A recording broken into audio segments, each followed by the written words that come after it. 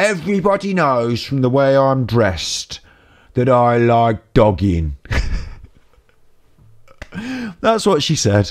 Everybody knows from the way I'm dressed that I like dogging. I'll, I'll do a, you know, a cut thing I'm going to put in the start of the video. It's really important. Animals are not objects. Dogs for life, not for Christmas. Adopt, don't shop. Be prepared for what you're getting into.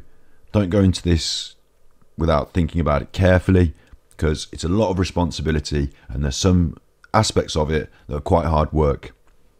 Said that. Right, we can put that in at the start as well.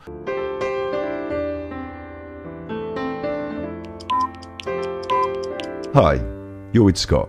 It's Mental Health Monday. It's midnight. It's always midnight. This is your right ear and your left ear because this is mono. It's actually 8 p.m. GMT because Mental Health Monday is always at 8 p.m. GMT. So, you know, work that out. Here we are. We're doing pets.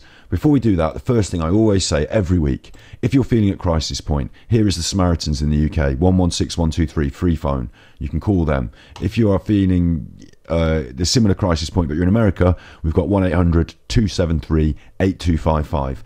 I'm going to do some chuffing at 12, 12 at midnight Pacific time. It might be midnight, it might be 12 in the daytime, the, the midnight of the day. Um, uh, so uh, we are here. And uh, if I'm doing the chuffing and laughing, and you're like, "Oh, this is Mental Health Monday," and I've come here and like I feel like I need support, you you can write in the comments. You, hi, I've got a problem. We can divert to your thing anytime, no problem. Interesting questions come up. Absolutely happy with that. I'm going to talk about pets today. It's going to be a little bit jolly. but uh, if you have got you know serious anything, the tone is wrong here, then tell us in chat or. Um, call one of these numbers for direct support immediate. Got loads to edit, so we're going to nice, nicely, neatly chuff along for about an hour and a half um, and say some interesting things about pets. Right, I've got dog depression later on. You'll be interested in that. It's not just for you; it's for your dog as well today. And we've got dog, dog thing, pets thing, mental health, choosing a pet. We've got that, and uh, we are Mental Health Monday. So, where's my little script? My little script. In this video, we will look at pets with regard to mental health, why they're good for you, how to be responsible when choosing pets, and considering getting a pet. We will talk a little about the the I've already started on that now. We'll talk a little about how there are some negatives, cons I've written in brackets, cons like pros and cons. Don't want to get you confused with with criminals that cons they call them cons, don't they? Anyway, look, and what to do when you think you may be getting overwhelmed. Oh, so that doesn't work as a little end of a sentence on its own. So now I'll say it again. We'll talk a little bit about how there are some negatives and what to do when you think you may be getting overwhelmed. We'll also look at other ways to engage with animals that's positive for your mental health, but does not require the full commitment of ownership. Huh, there you go. Look, that's my first look at that. That's my first first little. Well, when I say negatives, yeah, there, there, are, there might be. I don't want to make it. Um, as you'll come on and see, I'm going to just raise some concerns that I might. You know, I don't want to be here being like, oh, get a fish and get a cat and put them in the same cage and you'll be fine. And like, what the hey? You know, I want to just bring up some, you know, responsibility edge thing. And also uh, so because in the context of mental health as we'll see um, or i'll just bring up later uh, there might be some aspects of pet ownership that might be difficult for some people who are suffering with mental health issues that they might not you know i don't know maybe the cat gets you up all night like my cat. You know maybe it does. So we'll come on to that in a minute but first, oh, oh, I've written in the script call to action. I'm actually going to do it this week. But first, look, here is Mental Health Monday. It's our channel, web browser. Look at how big it is now. It's got 10 subscribers. I'm pleased with that. It's got a new video, Ghostbox, Talk Box, or Psychosis, because we talked about that the other week, and now I've edited it. Bam! Uh, it's got little videos that I try and cut, and it's got the long, full length, like podcasty podcasty. We're going to get a full podcast in this room. It's podcasty style. What we're doing now. you know, you know the score. You know the score. You're here. But uh, so yeah, subscribe to that. Watch the videos over there. Even if you've watched them here and been here, um, watch them over there twice. That's the rules. And we've also got Ganji Kid, which is where we dump the full stream, full video archive. Under the bottom there, you can see Ganji Cuts, Edits, Ganji Art Chat, Edits. That's us, Mental Health Monday. Battery Exhausted. Oh, it's going a bit funny there. True by Norn ASMR. We all know what that is. Don't even pretend you don't know anymore. It's been on the news. So, That's my shilling. Go and subscribe to that. Go and watch it, but don't stay here. Um, we are now on Mental Health Monday. So, animals are not objects. Oh, oh, he's not, is he? He's not, is he? He's a vegan. He's a vegan. Look, he made this vegan vlog. Just going to play this without any sound while I talk because it's nice pictures. Uh, and later we'll come and look at how to, you know, support things like this. But um, look, I've written some script, and here comes the reading. You'll enjoy it. First, a note because I'm a vegan and I have to do this because I'm a vegan and we're going to talk about animals, so I've got to do this. Animals are not objects. We should not enslave them, imprison them, and exploit them. We should not breed them for profit, in my opinion. Uh, there are some animals that are obviously wild and untamed, and I kind of think they should remain so. The only argument for a zoo is for conservation these days, because while I get great pleasure from visiting and seeing wild exotic animals at the zoo, maybe the animals don't get the same pleasure from being a captive on display. So I guess it's not on anymore, and we can see these animals in their natural habitat on film or in safaris. So we're lucky now these days we've got that. So conservation, yes, you know, this one, these aren't zoo animals, but you know, these are poor farm animals that don't have to do any poor farming anymore. Yeah, conservation, all that sort of stuff. You know, things that are going extinct. I get it, I get it. But you know, in general, oh, oh, bit bad, bit bad on the old vegan side. Uh, I keep doing uh. Some animals are not natural and not wild. We shaped their evolution through selective breeding. There are the kind that yeah, there are the kind that we farmed, exploited, killed, and ate. Yeah, there's those kinds. And then there's another very small subset. Sub, sub, sub, sub, sub, sub. There's another very small subsect. There's another very small group of species that we kept at home, initially as working animals, pest controllers, guards, and hunting tools. Eventually, simply as ornaments or for sentimental reasons, and now family members, aren't they? They're family members now, so got that in. Uh, the full vegan ideal, long term, is we kind of end this chaotic, barbaric manipulation of the natural world. We don't breed any more animals like ourselves and manipulate them. Cool. Uh, you can have a look at Rick and Morty for that as well. There's a really good Rick and Morty episode which I've written in my script and I haven't done the research to find out which episode it is. Oh, look at me now. I look tired and I've got a beard. Um, Uh, in the Rick and Morty episode, there's the one with Snuggles, and they put the thing on his head, and it makes him intelligent. The dog, Snuffles, Snowball, I don't know. Anyway, they put the thing, and it makes him intelligent, and then he starts asking questions. And one of the questions he asks is, "Why did you selectively breed me like this? Would you think it's funny if dogs bred humans with little stumpy legs and funny faces, uh, or would you think it was uh, an abomination unto nature?" So that was an interesting question that I'm not going to answer. However, there are priorities because this is why I'm not going to answer that question. There are priorities and there are some longer term and shorter pro- term problems. So clearly, with veganism, the bigger priorities are these farm animals, the ones that we're killing and eating, those sort of things, and encouraging more people to make responsible vegan choices.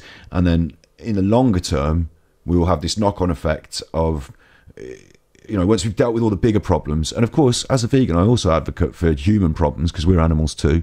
So stopping children from being hungry probably goes above my priorities in most things. You know, uh, people suffering around the world, like people suffering, are quite high on my priorities. So we get these things you know worked out in order and once we get down to these once we've done these bigger things we'll kind of see that maybe you know the animal ownership you know the questions about that they'll come into closer focus it'll be easier for us to deal with them you know, right now in the short term, in our lifetimes, we're probably not going to get to should we deal with the, uh, you know, pet ownership issue of veganism. We're probably not going to get there. We're probably going to have a big struggle just helping the people first, and then the farm animals and the the world entire. So um, don't worry too much about that in that aspect i think i think and i'm the i'm the king of veganism so you have to do what i say when it comes to it uh there's some wonderful tippies look at that that's like mega tippies you know, I'm not very good with the old numbers, but that like is a bigger number than we've ever had before, isn't it? It's like a bigger number than ever before. One hundred thousand, a hundred, a hundred grand in tippies. And I should uh, do it. Johnny Depp says thank you, but he wouldn't thank you. He'd just take him and run. Um, so yeah, Johnny Depp popped out for that. Uh, thank you, thank you. I really appreciate it. I really do. Uh, I'm still going to rock on with the script though, and I've done a whole video about thank yous this week, and we've got you know items that we're going to be setting up when they arrive. So uh, there'll be more thank yous coming. Uh, just you know, you know, you know, deep down how um, quite blown away I am by that. Actually, it's it's stopped me from it's stopped me in my flow, so I'm quite blown away by it. Uh, yeah, where's me um, where's where's my script?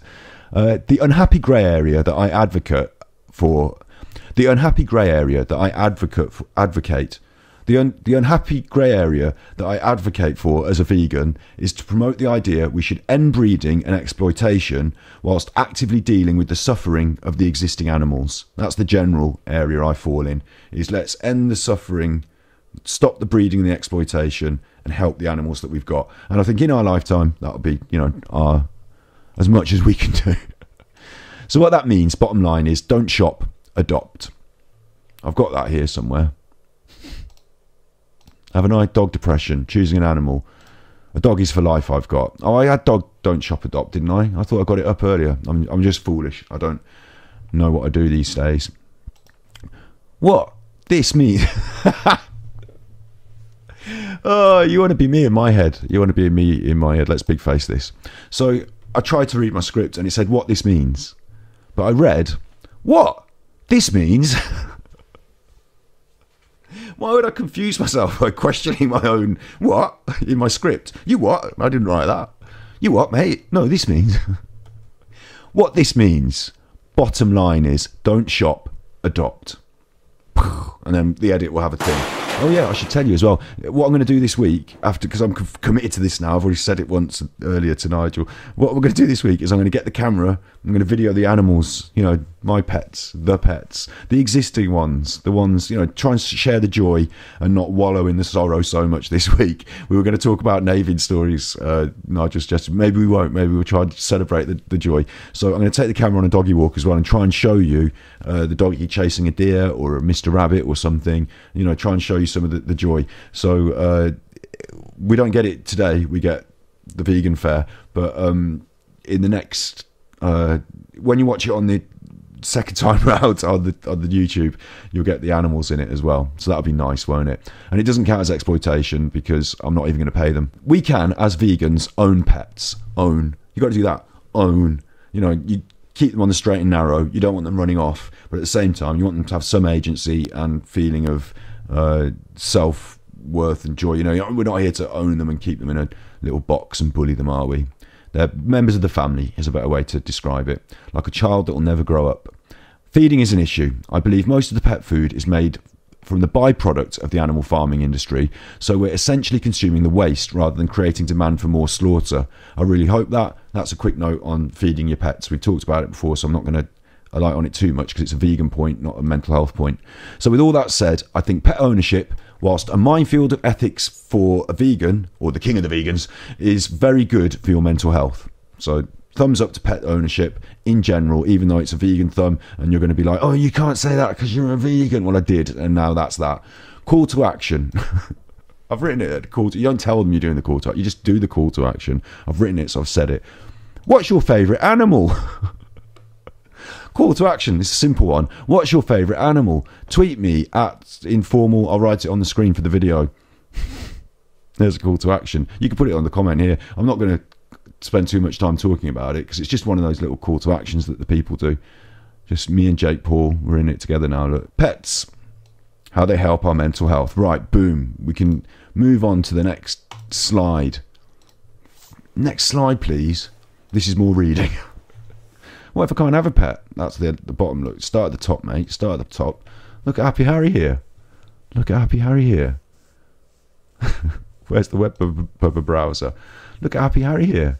No, he only got his teeth in. Happy Harry here. Look at him. He's got his little chuffer on his shoulder. Look at that. Look at that. You think you'd do that with a parrot, wouldn't you? No, got myself a Jack Russell, mate. Polly, the Jack Russell up there on his shoulder. Looks like Harry Hill. If Harry Hill got, you know, when Harry Hill gets old, looks like Harry Hill. Nice fleece as well. Nice fleece. You want to keep warm, don't you? While you're out there spraying your graffiti on the graffiti wall. So uh, photographers always take you to a graffiti wall, don't they? graffiti wall. That's their favourite backdrop, isn't it? If you're a band in a band, graffiti wall, graffiti in the background there. These photographer's got the job of shooting uh, an old, an old, he's shooting for the Mental Health Foundation. Pet, maybe it's just stock footage. I don't know. Don't know where they got it for, from. Maybe they, maybe they, you know, booked. Maybe Happy Harry here, Harry Hill, really old Harry Hill here. Maybe Happy Harry Hill, Hill here. Maybe his, you know, we need someone with a dog for a photo. Oh, we've got just the person. Do you need to do any tricks? No, we don't need any tricks. It's for mental health. Well, he does going on your shoulder. He does, don't worry, we don't need any tricks. I'll just put you down for going on your shoulder. No, we don't need, oh, it's already, okay, okay. We're paying for going on your shoulder now. Well, it might cheer people up. All right, fair enough. Let's let's have going on your shoulder. And then he turns up. Up you get. Way.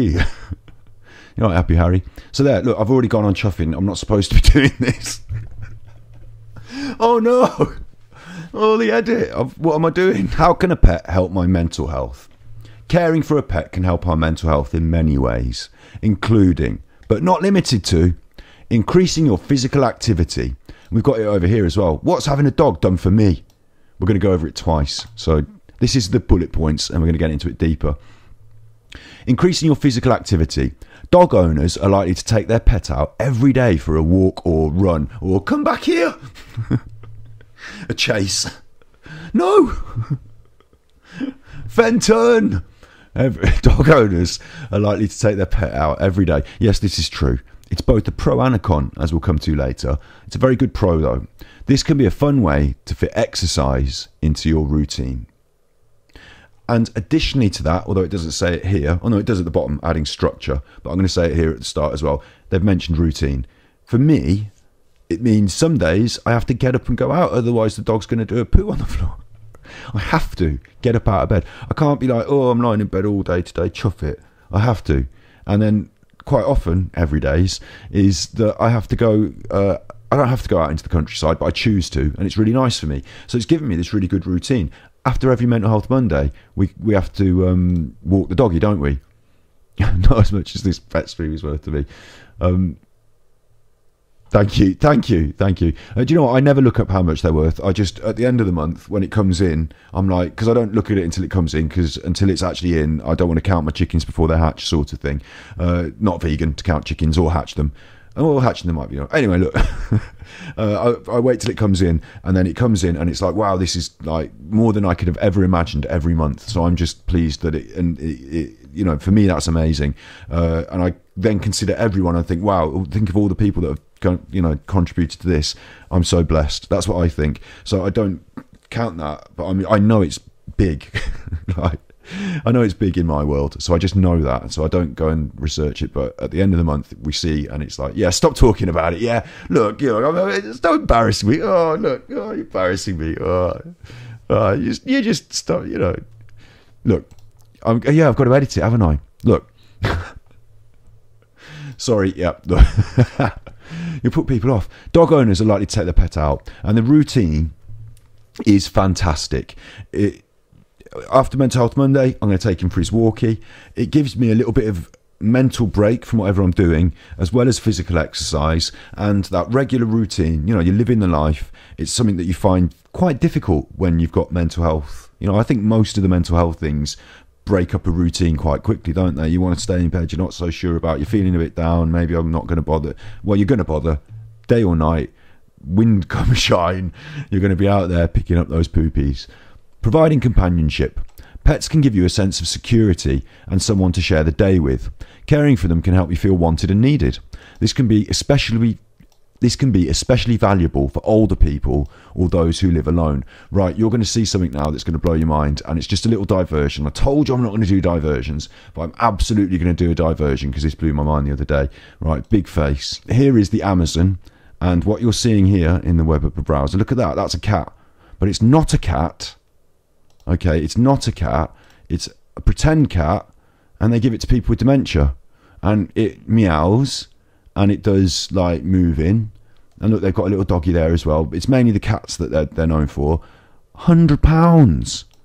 It's like a hundred pounds. It's really expensive, but people don't really mind when they're buying things for people that are suffering, do they? They spend the money. But I do think you could probably get a similar sort of toy cat that meows without the huge price tag that maybe isn't designed for a dementia patient, that maybe is just a toy cat. So maybe there's a incongruence in the price here somehow.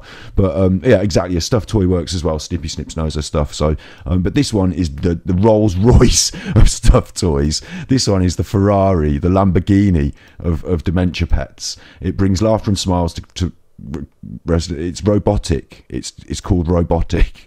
So robotic cat Joy for all, hundred pounds, really expensive. But yeah, so isn't that amazing? I mean, I'm not dissing it and taking the mic. I'm just, I think it's quite expensive. But um, as a concept, isn't that amazing? Because what we've said is for older people or those who live alone, well, there's another aspect to mental health that we don't really cover a lot on Mental Health Monday that we really should do one of these days, which is, you know, as you get older, um, your mental health can deteriorate for other reasons like dementia. And this can be really comforting for people like that. So, not a real animal, but just a, even just the concept you know, a baby doll they think is a baby. Wow, that would scare me. That would scare me. I don't know what I'd feel like if I had dementia, but you know, the worry of having to look after a, a real baby. Oh, sorry about that on the microphone. That was a cup of tea. But yeah, so the concept is real. It really works. We like that. Can I get the web browser to move so you can see it better? That's better. So it's valuable for older people or those who live alone and feeling wanted, needed, needed feeling wanted and needed, a sense of security, someone to share the day with. This is companionship, isn't it? And it's provided by a pet. So I think that's a really good concept. I think it's really good. And it's surprising, isn't it, that not a human, not a human, and we didn't go over this a lot in the vegan bit at the start. Whether an animal is sentient or not, of course, I believe they are sentient. They have their own thoughts, drives, and desires, their own characters. And of course, that's why the companionship thing works. Because they respond to us, and you know sometimes they talk back. You know, I don't know. Yeah, companionship, reducing anxiety. The companionship of a pet can help to ease your anxiety. Good. I'm not going to go over that heavily. We've got actual episodes on anxiety, but I'm sure there are lots of ways where having a pet around does make you feel more calm. Boosting self confidence. Hang on, I'm just going to read what you said. I know a disabled lady who regularly visits our local cat cafe because she's unable to have a cat in her apartment. That's nice. It's not vegan though, and they shouldn't be exploiting them. Do they pay those cats? um, grey area, grey area, I suppose. Grey area. If you've got a cafe and you've got some cats, why not have, you know, why not house as many cats from the rescue as you can? Good, a good concept. Um, Nigel's questioning what they do is like I just explained. You got a cafe and you you it's let me do big face. Um, the the original concept came from uh, Japan, I believe. Um, for that exact reason that Snippy Snips was saying that for companionship. But yeah, it's caught on in a big way with the charities and the animal um, welfare charities because um, if you own a cafe, why not fill it with cats? It means that you've got nice cats and you can home some more cats. So that's probably good. Uh, on the negative, if you don't want to home cats, you weren't thinking about it, and you're going to breed and buy, and you know, if you were not running a cafe for any reason and you decided just to buy a load of cats yeah, shelter kitties, hundred percent with thumbs up. Um, but someone who wants to set up a, a, business and wants to just you know, oh, we'll have goldfish tanks and we'll have cats as objects for decoration. You know, not that concept that bad. So there's a couple of ideas that are joggled up in the air, and where the balls fall, like we said at the start of this episode, is it's generally good. it's generally good. There are some bad examples out there, but generally it's good. So yeah, I like that cat cafe as long as they're responsibly, you know, supporting a shelter and charity and rehoming the kitties. Because yeah, you can have loads of cats in the cafe, and cats don't mind, do they? They go around. The only thing I'm confused about it is, I'm sure if I was on the, if I was on the, um, you know, you have to do a food uh, standards you know your dirty kitchen clean kitchen award and you know four gold stars five gold stars excellent. Don't want to eat in a dirty kitchen. Or the hygiene man comes around does an inspection. If i had loads of cats running around i'd be like you keep these cats out of the kitchen. I tell you if i was the chef i'd be like you keep these chuffers out of the kitchen. Oh yeah. Cat cafe yeah. No they're, they're generally good. They're generally good. Right. Here we go. We and it's also good to be able to interact with um, a pet like that. You know, young people, people who can't have um, older people, people who can't have their own pets. It's also good for them to be able to go and. Um, we're going to come to that at the end. That's the end. Is other ways to engage with animals that aren't owning them. uh, okay, I'm going back to the web browser and I'm going little in the corner. Boosting self confidence. Pets can be great listeners, offer unconditional love, and won't criticise you. I got a dog that bit me a few times, but generally he did love me, genuinely.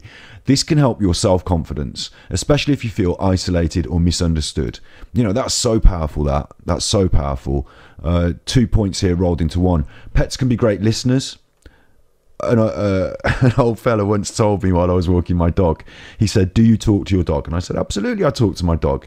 And he said, Do you tell it your problems? And I said, I, I guess. I don't know. And he said, If you tell it your problems, you'll never tell anyone else. You'll always keep your secrets. I thought, fair enough. I wonder what weird secrets you've got. Let's ask your dog.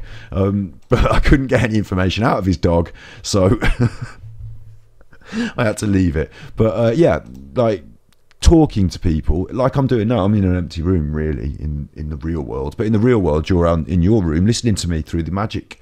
But you know, talking to someone, getting the voices out of your body into the world. The voices. I'm joking, but I'm not joking. Uh, putting voice to your thoughts, even if it's to your animals, creating that dialogue. They, you know, they do sometimes talk back. Um, yeah, it's really good for you. They offer unconditional love and won't criticize you. Is a, a separate point rolled into this, which is a really important one.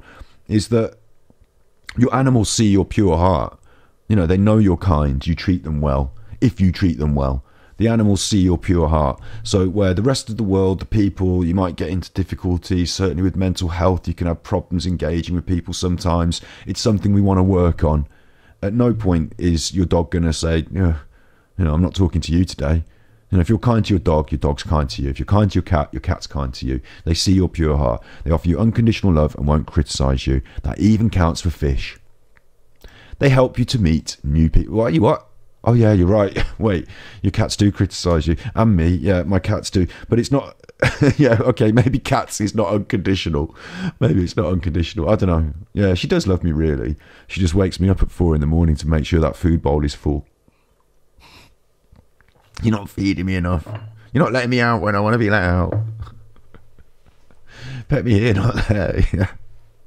Yeah. Stop. Don't pick me up. Oh, yeah, they do. They do. The cats are a bit more critical, we've just discovered. Uh, they help you to meet new people. Dog owners often stop and chat to each other on walks. That's nice. But other pets can be a way to meet new people too. In pet shops, training classes, or online groups, for example. Really clever point that I didn't really think of and haven't written in my script. But yeah, you get into the pets, you find out more about them, you do your learning. You might end up at the dog training class or at the fish fanciers meeting or at the um, trying to think of a range of pets. I've done dogs, cats, and fish, birds. Uh, yeah, you might end up uh, chasing your bird in the park and meet people that way. Um, my dog's so forced. To, yeah, you're forced to interact with people. no, it's all right. Really, he's fine. He's fine. Adding structure to your day. Having to feed, exercise, and care for a pet can help you keep to a daily routine, which can help you feel more grounded and focused. It can give your day purpose and a sense of achievement. It can give your day purpose and a sense of achievement. That's quite interesting, isn't it? A sense of achievement and purpose just from feeding the dog and, you know, walking the cat. Pets may also help with specific conditions. People with ADHD may benefit from the structure and routine of pet needs. I'll tell you what, I know for a fact that uh, I, I know a young young boy with um, learning difficulties, ADHD. Uh, I think he's on the autistic spectrum, and the relationship he has with his pet dog is fantastic. It's brilliant. It's really good for him, really comforting for him. So yeah, I absolutely attest to that. Autistic people can benefit from having a pet. It says there as well. So I just said it. How can I choose the right pet for me? We're going to come on to that in a minute. We've got a better one than your website for that. We've got a better one than yours, so we'll just briefly just jump over that. What if I can't have a pet? That's coming up later. That's coming up later. You just chill your boots. Where am I on my script? Pets, they're hard work though, and a huge commitment. Boom. I'm going to give you a little lecture. I'm not going to give you a lecture. I'm not even going to watch this video because copyright and all that business. But the general principle that we want to drive home here, really important. Really important really important. Maybe I should have put this at the start of the video. A Dog is for Life is a concept that was raised by the Dogs Trust, I believe, as a charity campaign, not just for Christmas. Dog is for life is what it's been shortened to. To stop people buying people dogs as gifts and then the kids love them at Christmas. It's a puppy, it's brilliant. Gets into January, February, it becomes hard work. They don't realise how big it's going to get, how much exercise it's going to need. No one wants to pick up the poo. It's barking in the back garden. Nobody wants to take it for its walk, so they put it into a shelter. And that's how we end up with lots and lots of dogs that are unwanted end up in shelters uh, being rescued or sometimes even tragically um, euthanized. I think in America you have shelters that are forced to euthanize because they're so full. In the UK, the Dogs Trust don't euthanize dogs if they're healthy dogs. They keep them sometimes for a very long time if no one wants to home them. So there's this knock on problem of pet ownership of people who don't understand the responsibility and then get into the responsibility and it becomes a big problem they end up having to give up the animals so really clear here really clear from me that uh, they're hard work and a huge commitment. You get a lot back, but it's hard work and a huge commitment. And it also means that, for example, most of us have got a friend who will look after our dog if you want to go on holiday. But when I did have Navin, here's a, here we go, Nigel. Here's Navin coming up. Um, when I had a difficult, I had a difficult dog. You sometimes we're going to come on to adopting animals a bit later, but you know, you sometimes get a difficult animal. It might not be through breeding or adoption or making this choice or that. It might just be, it might not be through the way you treat them. You might sometimes get, you know, a dog that wants to run off or, you know, a little nipper or something, or in my case, quite a big nipper. So when you have these issues and they become your responsibilities, uh, for me, I took on the responsibility. I saw it through to the end, and it meant I haven't I did. I went to Ireland, didn't I? So I did have a little holiday, but I wasn't prepared. And I did uh, Sweden, filming in Sweden, and I did go to America. So actually, I did go, and I've got a family that were used to dealing with the dog and could take care of him, so that was fine. Uh, but later on in his life, for sure, when he got more difficult, I absolutely didn't want to leave that responsibility on someone else's shoulders. So uh, you've got to take that into consideration too. If you travel a lot, or if you want to travel a lot, or if you might change your lifestyle, move to another state in the next five years, you will probably still have this lovely companion. So they have to be considered in your life choices too. So lot of hard, lot yeah, lot of hard work and a huge commitment, but really good as well. Really. Um, you know you get a lot out of it.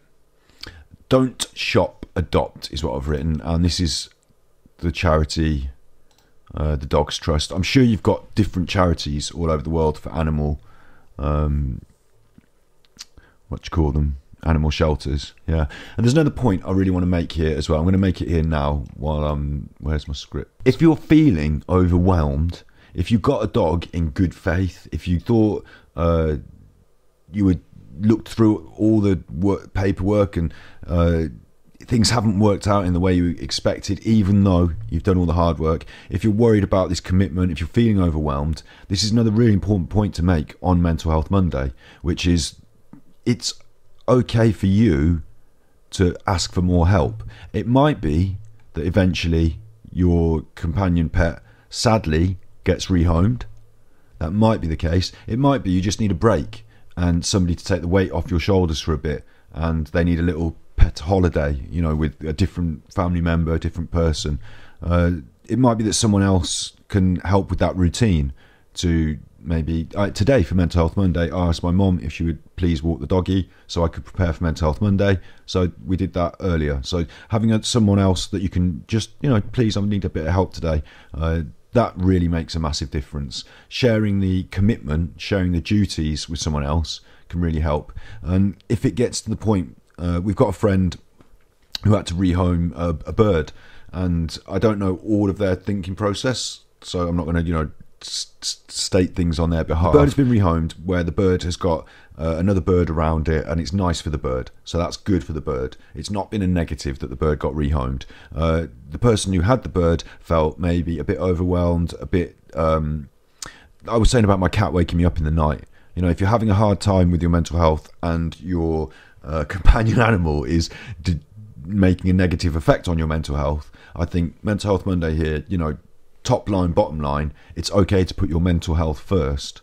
It might mean, as I said, rehoming the animal. And so when we talk about shelters, I think it's a real sad thing when someone irresponsibly gets an animal uh, as a present. You know, they think it's going to be fun. They thought uh, a big tough dog would be, you know, lots of fun, and then they're worried when it bites their kids, or uh, they thought uh, a wild cougar would make a great house pet, and then they're worried when it, you know, attacks the postman. Uh, you know, these sort of things are terrible shames, but at the same time, we are human, and we can underestimate things. And if you're suffering mentally, it's no it is a shame, of course. It's it's not a, you know a wonderful thing, but it's no great shame for you to ask for help, and somebody else will be able to help you with that responsibility. It might be that through one of these shelters, you're you know, because you, you care about these animals as well. You don't just want to discard them, do you? So that's the sad thing about this when it comes to mental health.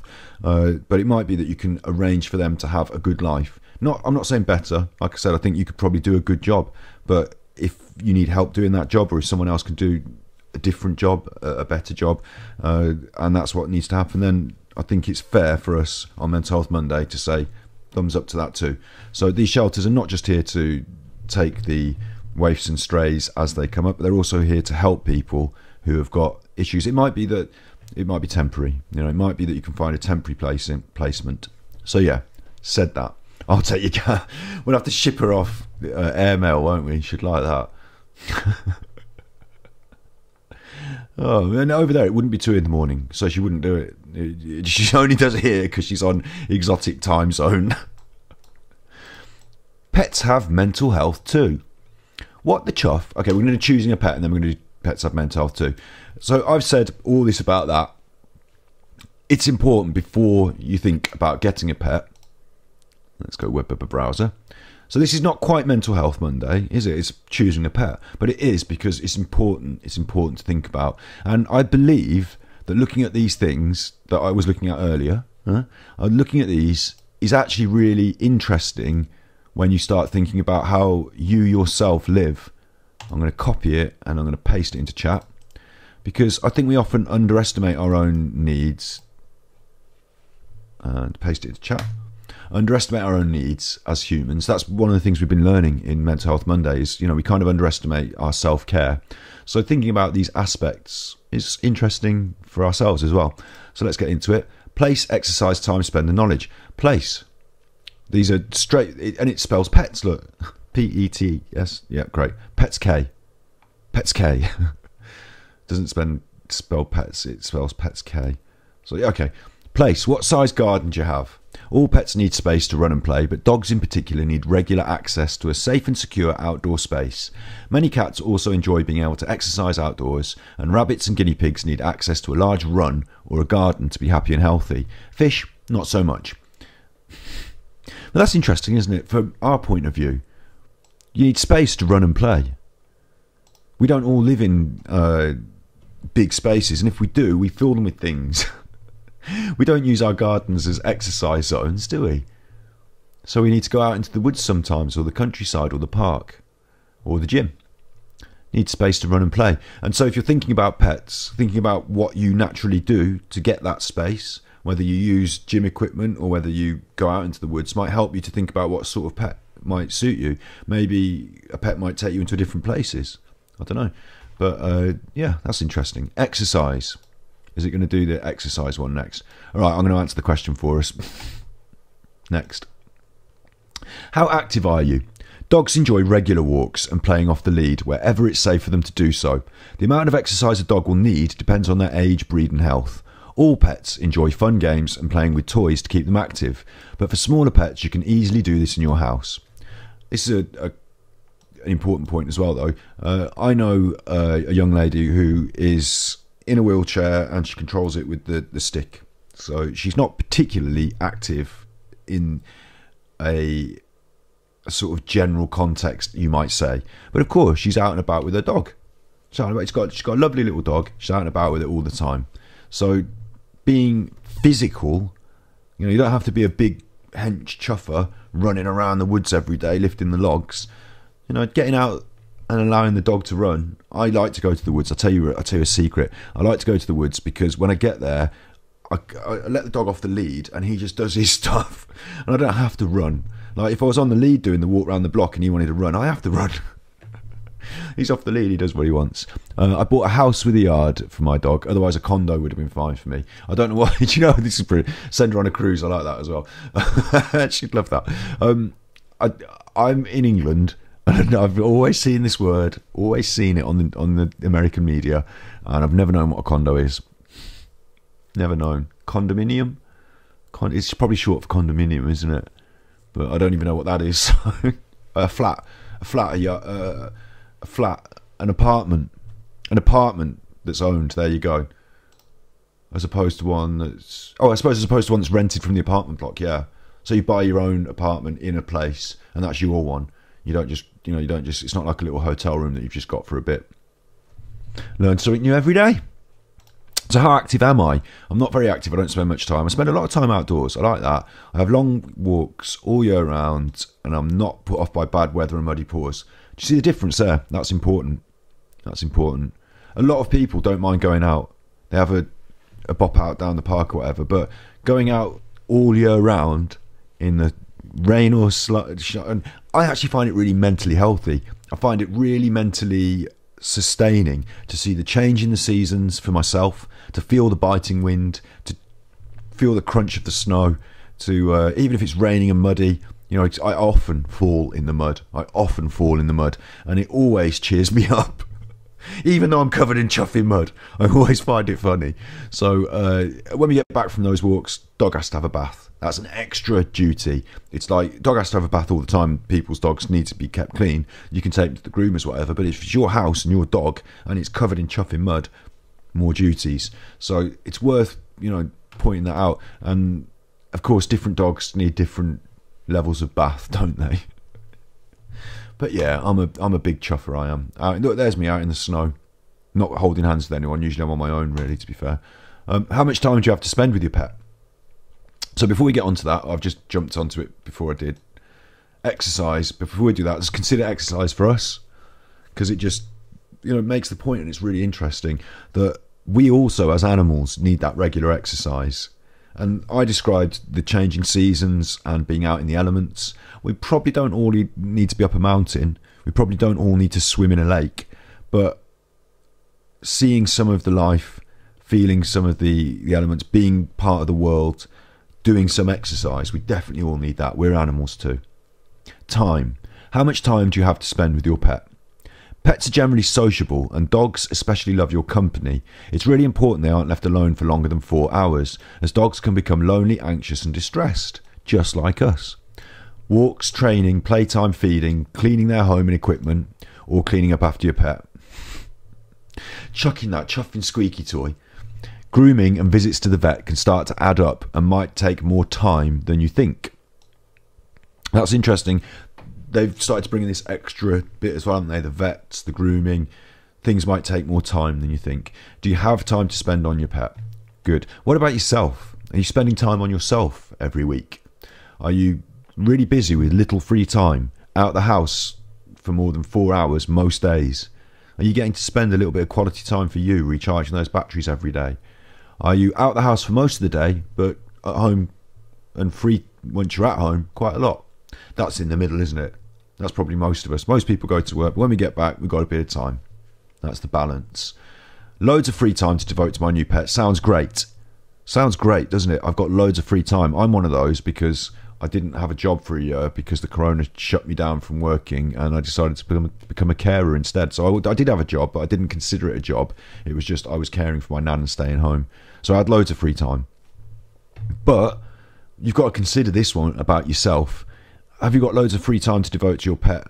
Right now when you're in the midst of a mental health depression spell and if you were to push on and do the things that you want to do in your life if you made a list of targets goals if you get that job if you you know move to this new place will that change the amount of free time you have? And is having lots of free time right now conducive to a positive mental health state? Are you spending too much time at home? Are you spending enough time as we said before, recharging your batteries, making sure you feel good? Are you spending enough time pushing out into the world, trying new things, and improving your mental health in that way? That's worth considering. I like this. This is good fun, isn't it? I've got loads of free time. Next. Except I don't really. Oh, I can't go back now. Oh, I can. Um, I'm not out of the house all the time, but the other thing I find is that I'm editing quite a lot these days. Yay, I'm back in the back in the groove. But when the animals are doing their tricks, you've seen it on stream, haven't you? When they're all doing their tricks, and I've got to try and do my edit, I have to get up all the time, and it breaks my concentration and stuff. So the edit suffers, the animals don't. But it's worth noting that you might feel like you've got a lot of free time because you're sat there writing a book. But if you get a dog, that writing the book might not suddenly still feel like lots of free time to write the book, mightn't it? So, got to consider your life and how these companions will fit into your life because they do take priority when it comes to their care, their well-being, uh, and their mental health, as we will come on to see. How much money could you spend on your new pet? That's a strange question, isn't it? Well, I could spend forever. I could spend all my money. just buy them gold steaks and no that's not vegan look it's not the initial cost of just getting a new pet you need to consider food equipment toys flea and worm treatments pet insurance premiums replacing a chewed up bed or unexpected vet bills it all adds up significantly over the lifetime of your pet especially as they get older or develop health problems i can afford and it gives you the the money like I suppose how much I don't even know how much we spend. I'm not. I'll be honest. I'm not the sole arbiter of the spending of, on the animal. Um, I would choose to spend as much as I could, but I don't know if I can afford it. You know, if I were to do my actual budget and it was just me and my budget, because like I say, I'm lucky that other people like quite happily buy things for that dog, but um, I wouldn't necessarily be able to afford all of the luxuries that he enjoys. That's just the damn truth. Uh, we'll just go in the middle for ticking, but it, it it's important to think about, isn't it? It's it's made me think about that even more now. Yeah, they they can be very, and when you think about it over the year, now I'm thinking about it, it adds up. Yeah, they can be quite a, a cost. So you've got to be prepared for that because again, their their priorities come quite highly. I, I, something you might notice about um, this is something I worry about people who have animals when they're homeless is all the reasons we've said so far it's a great thing they're companions uh, they can help with their mental health routine and stuff uh, there is a, a, negative and a worry that they don't have the money to support the animal if it were to be sick and need to go to the vet or to feed it the full um, range of diet it might need. But quite often, I've spoken to homeless people who have pets. They put their pet's welfare before their own. Uh, so quite often that is the case. But yeah, just interesting points to raise, things to think about. Let's t- let's spin this on its head. How much money do you spend on yourself? Are you doing these things, food, equipment, toys, and stuff? And are you getting to do your own insurance? And I don't do enough of that. I don't have an insurance policy for my, you know, this and that. I just can't afford it. Absolutely, but uh, it's not just food, is it? Stuff like that um, doing your own bills and, and finances and budget is a huge part of people's mental health concerns.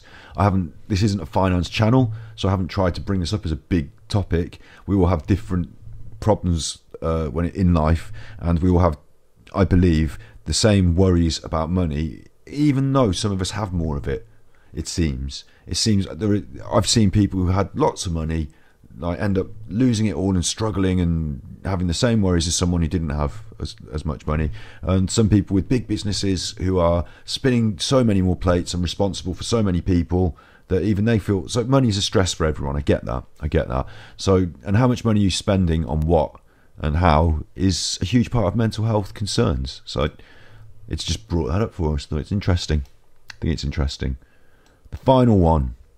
Look donate to pdsa down the bottom there Maybe I should because they've, they've uh, provided. I've got my regular people who I like to support. How much do you know about the pet that you want? Right, knowledge.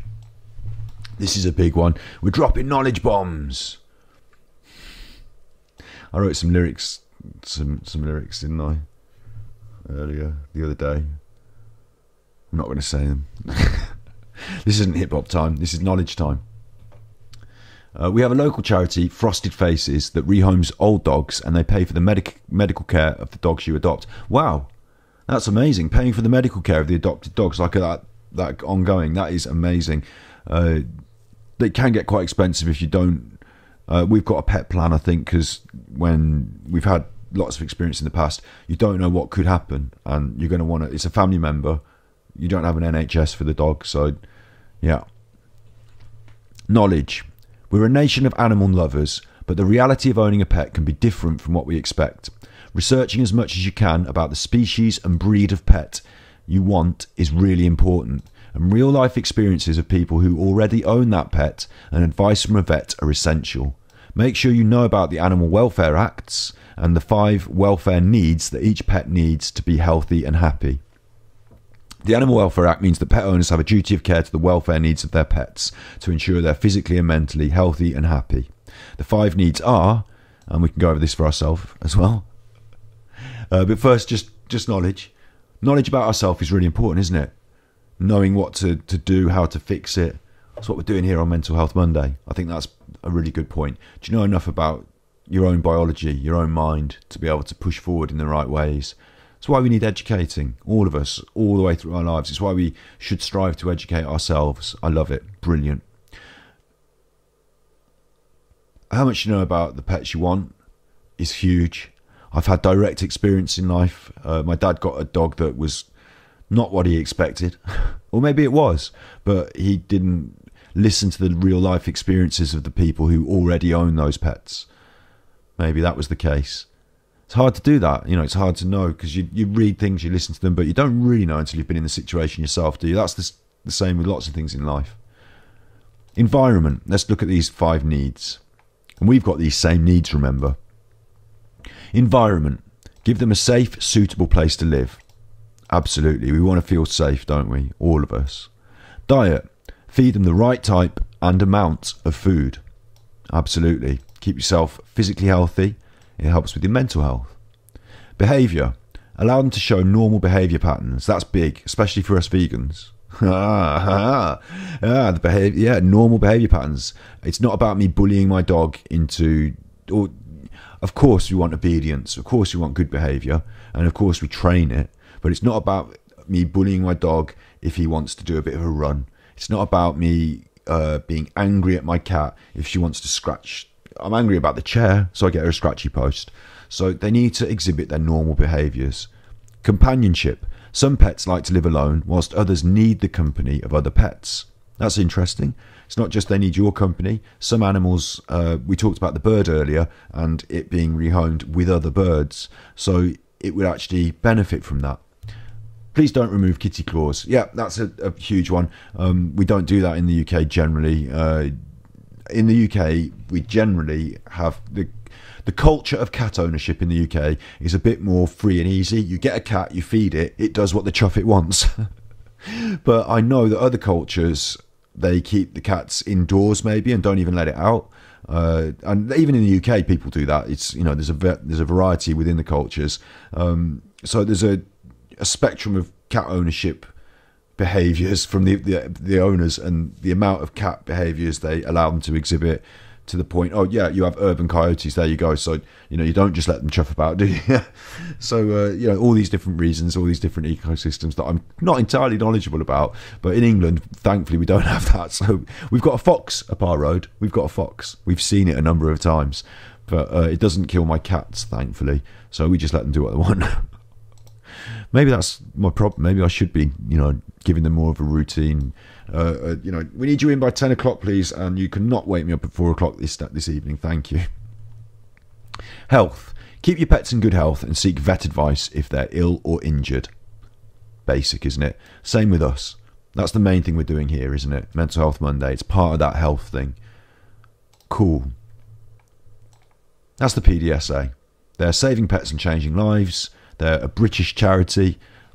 I'm not going to promote a specific charity and ask you to support a specific charity because I know that all over the world there are lots and lots of different ones. And actually, I believe that the smaller local charities probably do really good work and have a harder time being supported financially, uh, harder time marketing and promoting their businesses. If you know a small mom and pop shop, uh, local animal shelter, then they they kick the table. They need your support. Um, round our way, it's the Avon Cat Rescue that over our lifetime we must have given a bajillion cats of a bajillion cans of cat food too. So yeah, make sure you support your local ones as well. They really need your help. But of course, these big organisations, they do get. Um, where's me browse window? These big organisations, they do get a lot of support from the public, which is really important to them. But they also get uh, bigger support from, uh, I believe, don't don't hold me to this, but they also get a, a bigger financial support network from patrons, from the government, from uh, other aspects. They've got charity shops, they've got like business aspects to them. Um, so there's Frosted Faces Foundation is a non-profit that was promised. Yeah, that sounds nice. That sounds nice. Uh, there is one other aspect of dogs here that I'm going to bring up quickly, just because it's me, isn't it? And I have to. I worry about the Dogs Trust is a good example. I worry about the fact that their business is predicated on having a supply of rescue dogs. So let's say, for example, everyone in England gets all excited, goes out and rescues a dog, the shelters are empty.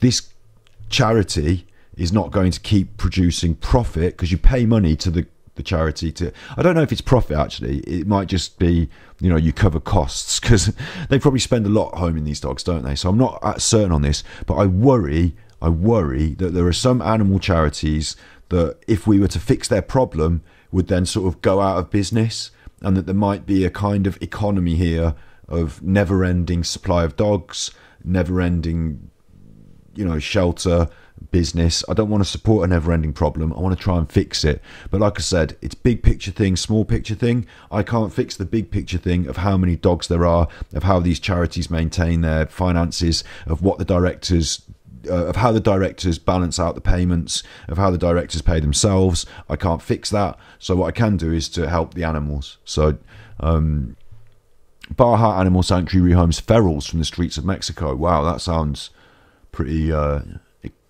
like in the UK, we've got wild, like you'd say feral. We'd just call them um, stray because they don't stay out for long.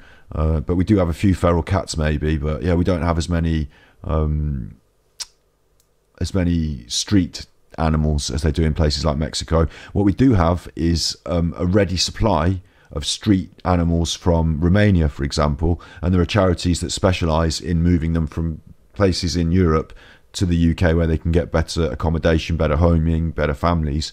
Uh, and some people would say, oh, don't import animals from abroad. Don't import them because we want to fix our own problem first. But it's a wider net problem, isn't it? If they're not fixing it over there, maybe we can help. And this is again plays into my worry of do they find a a supply of animals because they want to make sure they're constantly getting animals through their shelter for the directors to make profit, or is it because we want to fix the lives of every animal? Well, either way, it fixes the life of every animal, so let's try and fix the life of the animal. Uh, they're predominant breeds from from Romania. I don't know.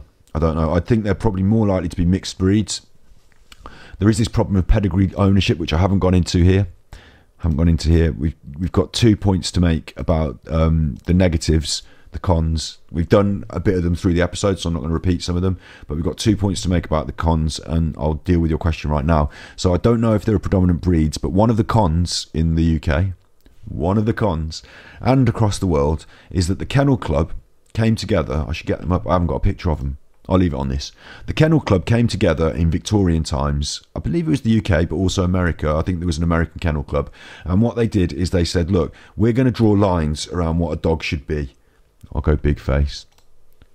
We're going to draw lines around what a dog should be. We're going to say, let's take, for example, the beagle. Its legs should be this long. It should have a straight back. It should have a, a shape of a nose like this. Draw its head. Its tail should stick up. Da da da. That's the beagle. That's what that should look like. And then breeders have a breed standard to aim for, and then we can judge them on who's got the best dog based on the breed standard. And it removed the subjectivity around who's got the best dog because we've got a standard that we can measure them against. But they simply made that up themselves. The Victorian Kennel Club, the members of the group in the Victorian times, made that up themselves. And as Snip says here, they breed in health problems. They didn't make up these breed ideals based on what's good for the dog, or they didn't understand the evolutionary biology at play. They simply did it for aesthetic reasons. So now some years later, it's this weird concept that the perfect beagle looks like this, and you go to Crufts, and this is a really good example of a um, a Borzoi. this is the perfect Jack Russell. Look how good this dog is. And then they breed these pug dogs with the faces that can't breathe and the bulldogs and the things. And they breed them even worse and even worse. And it's harmful for the dogs. It's a shame for them because you get on top of the pedigree breeders who are trying to breed the perfect dog and actually breeding a sort of um, in building a genetic problem into the dog that the dog then suffers with for life on top of that, you've got people that do puppy farming, where there's a lot of money in these perfect dogs. Just any old dog from Romania, just a street dog, a mixed breed, this dog and that dog and that dog in its lineage, any old genetics, that's not worth money. That's just a mongrel. But if you've got a beautiful pe- pedigree, kennel club registered, you know, proper dog that its mum won Crufts and its dad's mum won Crufts and it's got this lineage of dog shows and wins and breeding, breeding, you know, breeding like like a upper class dog. If you've got that, then it's worth money. So people, not very nice people with bad ethics, get one of those dogs, it might cost them a bit of money, or maybe they steal it, and then they make it breed, make it breed, make it breed, and then they've got loads of puppies to sell, they're worth money. And there's a lot of those pug face dogs or the um, the the smaller breeds are used for this because it's easier to breed a load of small dogs in your back garden in your shed than it is to breed a load of rottweilers isn't it? So they use smaller dogs for that and dog breeding pedigree breeding the kennel club that's all in the negatives.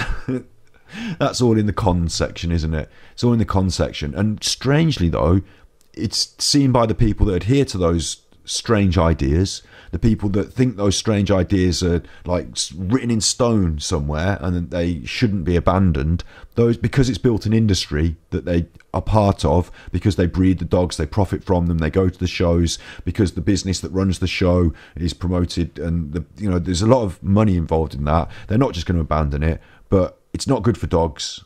It's a con. And uh, it's not just a con in terms of a negative, but it's a con job because there's nothing different about the pedigree dog than the mixed breed that I've got in terms of character and you know nature and heart. Eh, there might be if you breed that into them, they might be more aggressive or a better rabbit catcher or whatever. We've gone way past that. We're not talking about the evolution of man's best friend as a hunting companion. We're just talking about aesthetics. And sometimes you breed a dog for aesthetics and it becomes more aggressive because you didn't think carefully about what you were doing. Or it becomes more docile because you did. And even that can be a problem because maybe the most docile dog is maybe not the most well intelligently bred dog? I don't know. Wow, big ramble. Not supposed to be going off on a chuffer. Don't shop, adopt. Pets have mental health too. Let's get on to that. And then finally, we'll do the volunteer share duties and the other things like that. So, uh, before we do pets have things too. I'm going to do one more call to action, which is this is our Ganji Kid channel. It's on YouTube, Ganji Kid. You can find us there. That's the full length stream videos. And then you can also find Ganji Cuts. If you just scroll down there, Ganji Cuts, Ganji Kid Art Chat, Mental Health Monday, all our other channels of the edits and stuff we do. And what we're talking about today is Mental Health Monday. We've got our own channel for that. Mental Health Monday, 10 subscribers. It's growing slowly but surely. And our most recent video about ghosts and talk boxes is available to view as of today. called to action. You've been called to action. Uh, so, dog depression. See, today is not just about me and you as human beings. Today is about our animals. And so, I thought what we'd do is a little segment for the animals.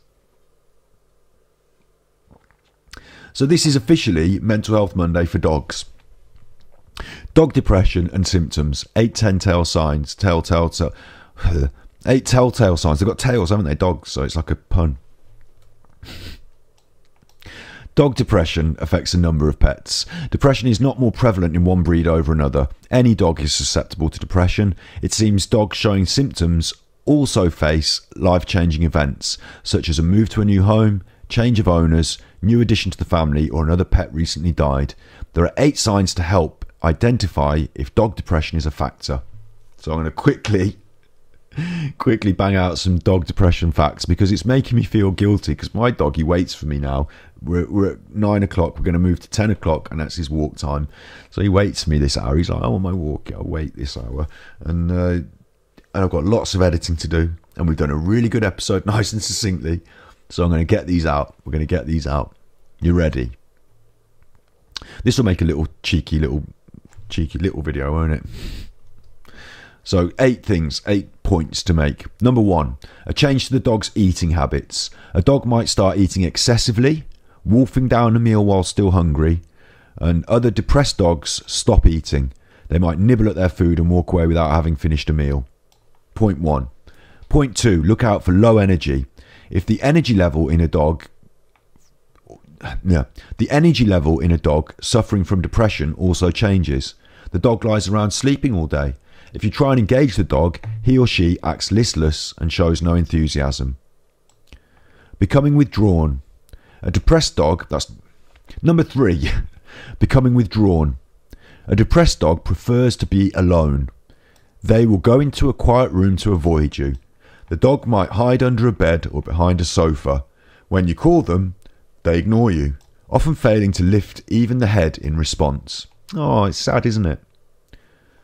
I've got how many now? Four. Severe weight loss, point four. Linked to the change in eating habits, dog depression cases usually find the dog losing a good deal of weight. Weight loss in dogs is troublesome, so keep a good eye on your dog's size. If more than a few pounds disappear, call your vet. 4. 5.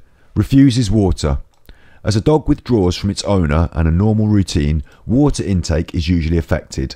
The pet sleeps more, not playing, turning his nose up at food or water, so dehydration is a grave concern for dogs. If your dog's refusing water, contact your vet immediately. And I'm going to just also factor in drinking a lot of water because I had a dog, Navin, and you know what? It actually did turn out he wasn't depressed, depressed, but uh, he started drinking a lot of water. It was later on in his life, and he'd slowed down. We were doing, I was doing less with him. I was working a lot more as well. Actually, I think uh, it was was it before I quit hairdressing or just before? Um, and I did. I took him to the vet, and I was like, "Look, he's drinking loads of water." And the vet wanted us to check his urine to see if he had a kidney problem. And in the end, they sort of said, "We think he might be a bit bored." And I thought, "Well, chuff it, you know." And when's the last time I bought him a toy? When's the last? Because I do the usual. I take him for his walk every day. I do the usual, but then I'm getting on with my work, and you know, yeah, okay, fair play. And I went out and I bought him loads of toys. I bought him a UFO thing that dispensed treats, and I bought him a ducky and a squeaky. And, you know, right back to the puppy days. All the stuff that we just sort of took for granted that we don't do anymore because he's a grown up. You know, I just stopped buying him toys, didn't I? I just stopped entertaining him in that way because you just get used to the sort of routine. And so when he was bored, he was having a drink, the vet said. And I did, lo and behold, I played with him a lot more. I, you know, I concentrated, deliberately did it. And uh, he did, uh, he stopped drinking as much. He cheered up a bit. It wasn't a huge period in his life. You know, we kept an eye on these things, don't we? We're looking out for him. So when he did start drinking a lot, we were like, what's going on here straight away? But uh, yeah, you can drink a little bit more, maybe. That happened to me and I, and I'm a I pride myself on being a good animal owner. So like we got to the bottom of that straight away, but I had been uh, negligent, not in my you know not like negligent like neglect, but I'd got I'd become I'd taken things for granted that I needn't take for granted. I'd taken for granted that he doesn't play with toys anymore because he's an older dog. But actually, he did like the ducky. We had a little go on that until he ripped it to bits. But you know, if he wants to rip things to bits every once in a while, I shouldn't stop getting him things, should I? That's natural behaviour. It just means I have to put up with things being ripped to bits. Changes to eating habits. This is point number. I oh chuff it. I forgot what number we're on.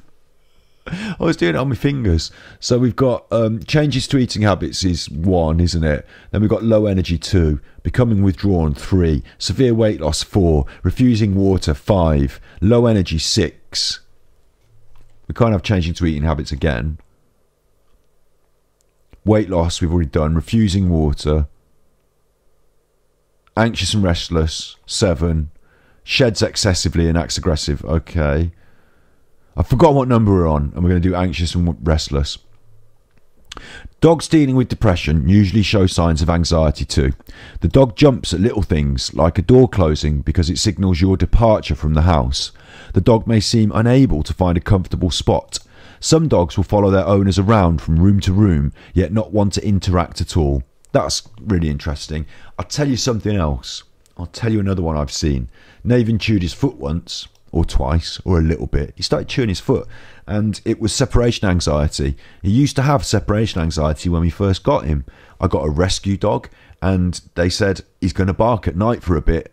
You look out for that. Lo and behold, every time I left him at night, because he had his own little bed, own little bedroom, every time I left him at night downstairs in his little bedroom, he'd start his little yapping. Yep, yep, not like a rah rah rah, but yep, like separation anxiety. He learned, you know, after the first couple of weeks, he learned that there was no problem. I was there in the morning. All he had to do was go to sleep. You know, he got he got over it, and it's something that a lot of dogs deal with and grow out of. But uh, it was around the same, probably same time as the drinking, the chewing the foot. Uh, I did notice he was chewing his foot a little bit once or twice, and I was like, "What the chuff is he doing that for?" Anxiety, the vet said. The separation anxiety. You know, I used to have to go to work at the hairdressers, and he would spend some time at home on his own. And of course, we'd got used to the separation anxiety at night, but I didn't see his anxiety when he, I was at work. He was at home. I didn't see it. So I only saw the result at the end when he decided to chew his foot. So there are some things you can't see. They're animals. You can't talk to them. You can tell them things they can't talk about. You can read them, but you don't know. So this anxiety following you around the house, not interacting, not being able to get comfortable. Yeah, interesting to look out for. Anxious and restless. Sheds excessively. Excessive shedding in case of dog depression links to dietary changes too. When a dog stops eating, their body redirects nutrients. So look out for excessive shedding. Acts aggressive. This one you won't be able to miss. yeah, acts aggressive. Finally, a dog suffering from depression may become aggressive towards his or her owner. The dog snaps, growls, wanting to be alone, and acts touchy if you try and engage him or her in activity. Nathan used to do that sometimes, definitely. There were times he was scared of me engaging with him in any way. There were times he uh, he'd been rescued and he'd had a difficult life. And I believe he'd been the victim of violence because sometimes, even if I was just going to go, oh, hello, Navin, like that, the, the raising of the hands would make him cower, you know? Uh, and act aggressive. I've seen other dogs become aggressive over time because of problems in their environment. I've seen that in, in action sometimes. Uh, I've seen it dealt with by experts as well. So you can you can deal with this. You've got to be really careful with children, dogs and children. Kids love dogs, dogs love kids, but dogs don't necessarily know the correct way to interact with children until you teach them, and vice versa. So a kid could pull pull a dog's tail, a dog might try and bite a kid. You definitely having a dog.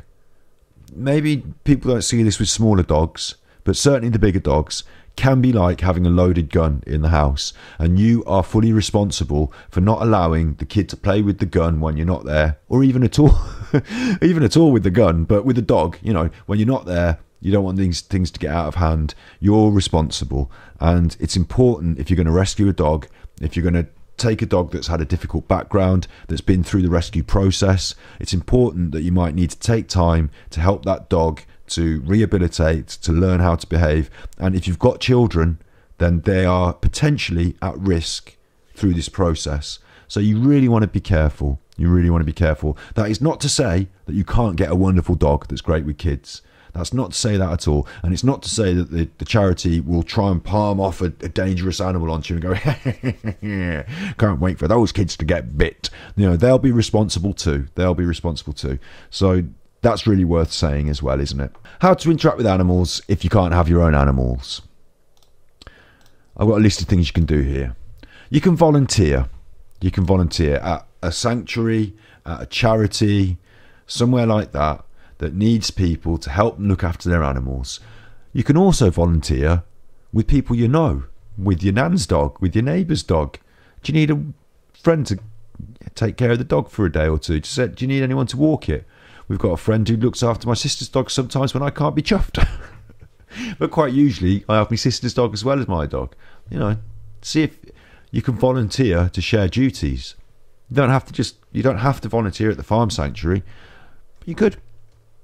Pet sitting goes into the same topic there, but it's great, isn't it? It takes the weight off somebody else and it helps you to engage with an animal. And I think with pet sitting, it's really important if you're thinking of getting an animal, if you're thinking of getting a dog, to go and interact? Can I maybe you know can she stay over tonight can i uh, borrow your dog because i want to see what it's like sort of thing that can actually be really healthy really helpful the farm sanctuary we're looking at now we've talked about that before but i do have a video on battery exhausted i'm not really trying to push battery exhausted so much anymore am i but uh, we will try and ganji vegan will try and be resurrected in future and uh, you can watch that video you can watch it on battery exhausted now if you want this is one you're going to think I'm a bit out there, but I'm going to say it anyway.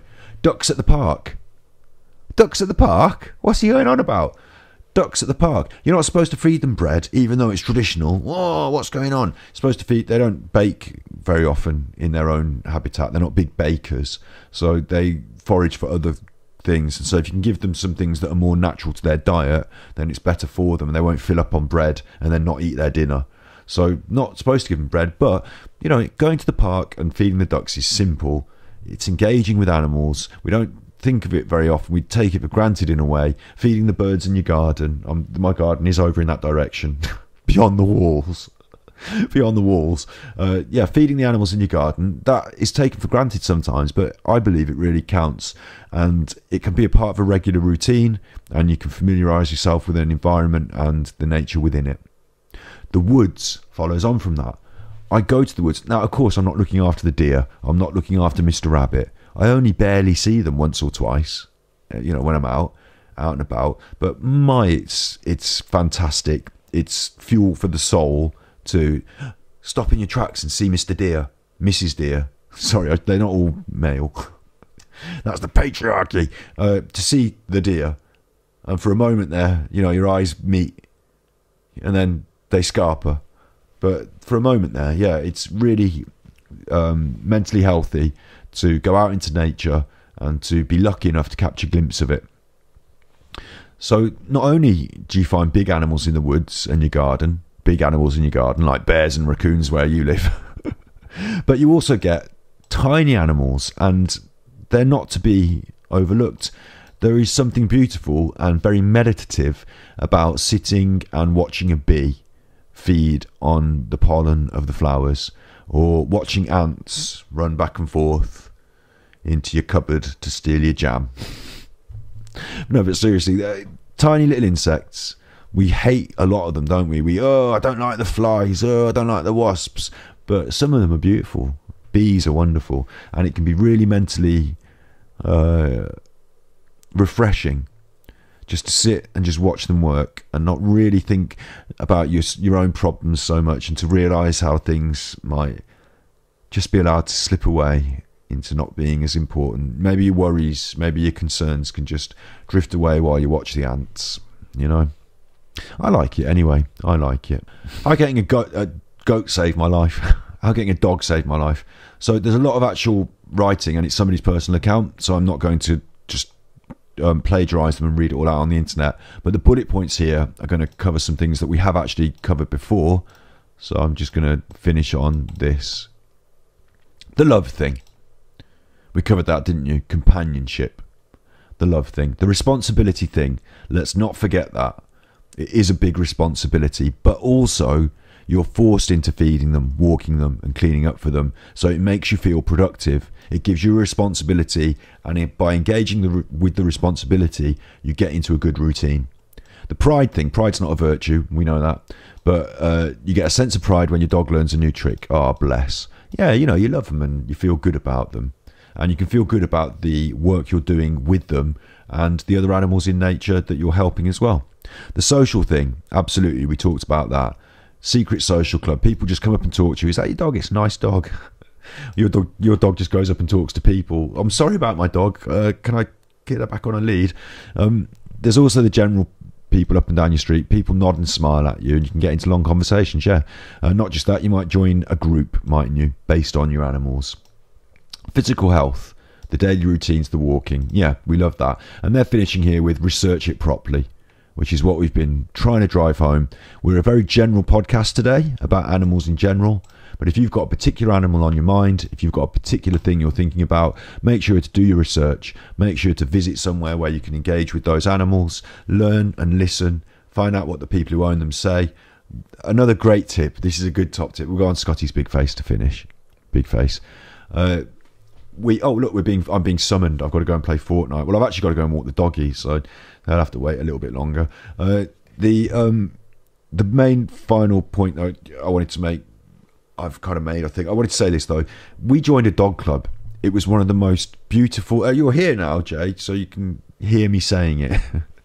we joined a dog club and it was one of the most beautiful and wonderful experiences that I've had in my life, really. And I'm even just didn't realize it until I'm saying it now. Thinking about it, it is making me almost emotional. We went there with little Ruby as a puppy. She graduated. She had her little training classes. You know, it was wonderful for her to have a little training teacher.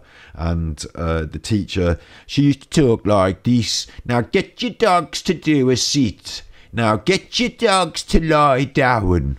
And the funniest thing happened was she said to the people in class, she said to the people in class, everybody knows from the way I'm dressed. And this is what I was going to go on to say. It changes, changes, doesn't it? You look at the people, you learn, you do your research. Look at how they're dressed, look at how they're living, because that could be you. Everybody knows from the way I'm dressed that I like dogging. That's what she said. Everybody knows from the way I'm dressed that I like dogging. and everybody in the class fell about laughing. Of course, she meant walking in the woods with the dog. She didn't mean meeting up in the woods to do sexual things with strangers, but that's the colloquial terminology in our in our country. Dogging in the woods, dogging is a, a sexual mm, malpractice. It's not it's not, malpractice, it's just a practice. I mean, you can do it if you like to, it's up to you. I'm on the internet. I'm definitely not promoting any weird sex on the internet, though, as well, am I? So let's be careful. But yeah, she, all of us lined up with all our dogs. Everybody can see from the way I'm dressed that I like dogging. Thought, bloody hell, have you got your stockings on underneath, love? So that happened. We had this wonderful time at Dog Club. The dog grew. We learned. We made friends. Eventually we outgrew the dog club. It outgrew us. There was a time it moved. It closed down. It changed. We went back with our new dogs to a new dog club. We started a new journey.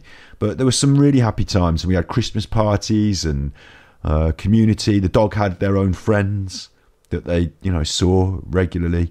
Um, and when ruby was really old when she was a really old dog in her final days when we knew they were her final days as well uh, I took her. The, the, dog club was closed. There was no one there. But I took her there.